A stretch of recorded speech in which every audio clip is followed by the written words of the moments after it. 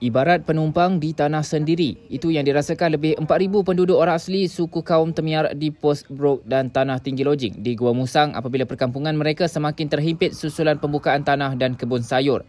Penduduk dari 18 kampung itu berharap pihak berkaitan dapat meluluskan permohonan pewartaan pembangunan sosioekonomi komuniti PSK dan menggezetkan tanah orang asli di kawasan itu. Penghulu Kampung Jedip, Nasir Busu mendakwa isu berkaitan tanah orang asli sudah berlarutan sejak tahun 2000. Menurutnya pada awalnya ia membabitkan tanaman kebun mereka yang terdiri daripada buah-buahan seperti durian. Sekitar tahun 2000 itu juga kebun mereka dimusnahkan untuk pembukaan tanah dan tanaman sayuran. Namun masalah ini semakin berlarutan dan penempatan mereka semakin terhimpit dengan kebun sayur. Katanya masalah utama merangkumi empat perkara iaitu tanah, kubur, kawasan tarahan air dan penempatan.